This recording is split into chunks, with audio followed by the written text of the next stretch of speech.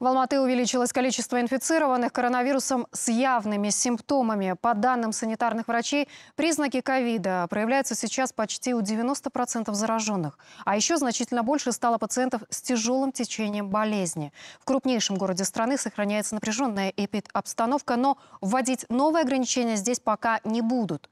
А вот в Таразе карантин могут усилить. Там думают, как обезопасить местное население в православный родительский день. В Актобе же суточный прирост зараженных ковидом резко сократился. Вот только медики говорят, радоваться нечему. Сейчас передаю слово репортерам КТК на местах. Они расскажут вам все в деталях. Начнем с Алматы. В Алматы все меньше пациентов с бессимптомным течением коронавируса. Почти у 90% зараженных теперь проявляются признаки заболевания. Санврачи объясняют, к осложнениям приводят именно новые штаммы ковида. В городе пока выявлено три заразных мутации – британская, бразильская и южноафриканская. Сейчас специалисты выясняют, добрался ли до Казахстана датский штамм. Алматы почти два месяца находится в красной зоне. Эпидситуация в городе стабильно тяжелая. Ежедневно регистрируют больше 600 новых случаев. В основном алматинцы заражаются дома от своих родственников и друзей, утверждает заместитель главного санврача Асель Калыкова. Немало в списке инфицированных сотрудников организаций, пенсионеров и школьников. Заражения при контактах с родственниками, соседями и друзьями заметно возросли с 2,3% до 2,6%. Это, как э, полагаем, э, с проведением, э, э, в результате организации проведения аузашаров. Учитывая текущую эпидемиологическую ситуацию по заболеваемости коронавирусной инфекцией, в настоящее время возникла необходимость ускорения процесса вакцинации, как я уже сказала, первым компонентом, с целью защиты максимально большего числа населения. Ну а поскольку упор теперь делается на первый укол, вторую дозу спутника будут делать не раньше, чем через 45 дней. В ближайшее время врачи перепишут график вакцинации и обещают обещают оповестить пациентов. Приглашение придет по СМС. По старым правилам второй компонент будут колоть только тем, кто получил первую дозу до 21 апреля. При этом санврачи признают увеличение интервала между двумя дозами почти на месяц замедлит окончательный процесс иммунизации населения.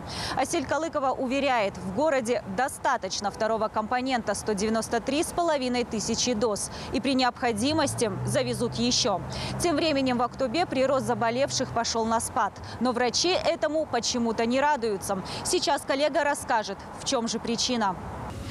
А в октябре впервые за последние месяцы число новых больных коронавирусом резко упало до 27. Горожане ликуют. Неужели инфекция?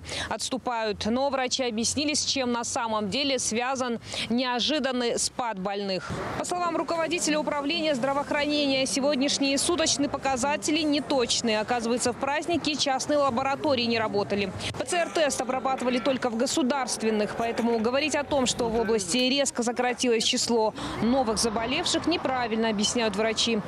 Реальная картина будет известна завтра утром. И особо радоваться, говорят медики, нечему. Высокая летальность в регионе сохраняется, как и количество тяжелых пациентов.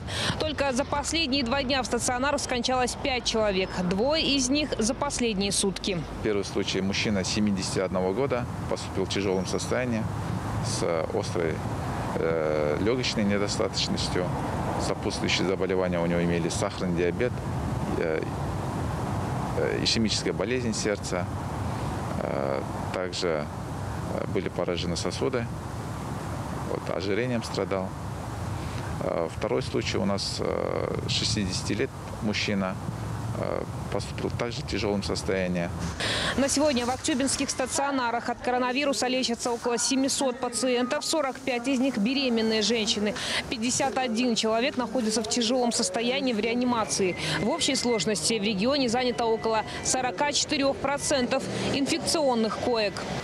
Оптимизма не добавляет и то, что грядут очередные праздничные выходные. Как правило, после них происходит всплеск заболеваемости коронавирусом. Так, к примеру, было в марте. А тут еще родительский день у православных. На юге страны уже э, решают, а не отменить ли его. Коллега из Жамбылской области расскажет подробнее.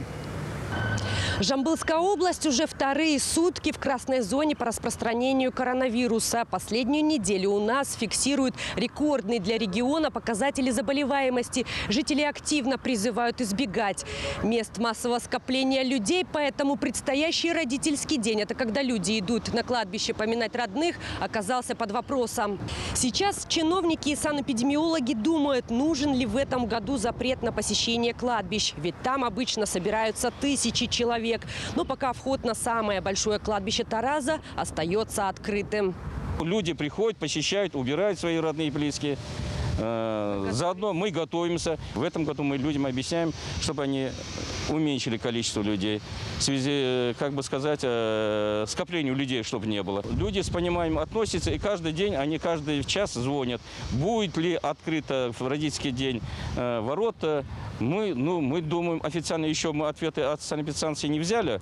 Пока решение о родительском дне санэпидемиологи не озвучили, но есть вероятность, что он пройдет так же, как в прошлом году. Тогда ворота кладбищ были закрыты наглухо, их посещение отложили на лучшие времена. Алматы, Актубе и Тарас были представлены в нашем обзоре. Спасибо корреспондентам КТК, работающим на местах.